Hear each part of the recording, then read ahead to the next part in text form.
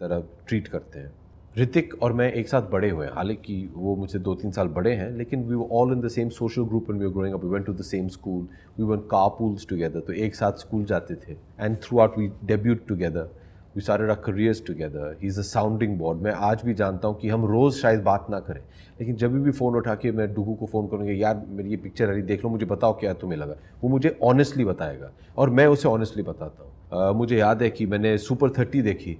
मैंने फ़ोन उठा के रहा नहीं गया ना call I said who is this guy मुझे ऋतिक रोशन बिल्कुल नहीं दिखा and for him that's a big thing because so much of Hrithik's image is of Adonis and to completely destroy that and play Super 30, it was a magical film. It was magical और उसमें एक गाना है बसंती don't dance. और उसके अंत में जब कोड़ा चल रहा है एंड एवरीबडी इज़ डांसिंग वो टीचर जो ही कान कंट्रोल हिमसेल्फ तो अपना गमछा लेके वो टूट पड़ते हैं.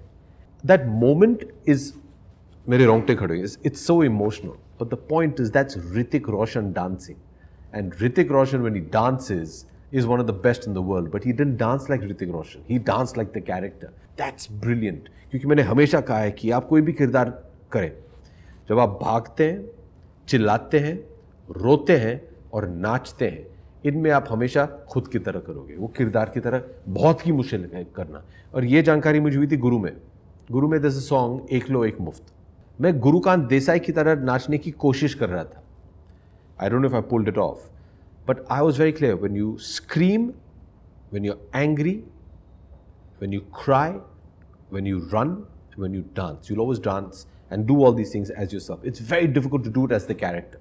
And he, in that portion, when he's, he was, I mean, you want him to dance perfectly, and he danced imperfectly.